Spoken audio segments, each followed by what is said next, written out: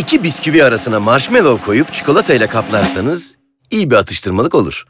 Ama bisküvi yerine yumuşacık kek koyar ve gerçek şölen çikolatasıyla kaplarsanız işte o zaman şölen olur. Lupo'yla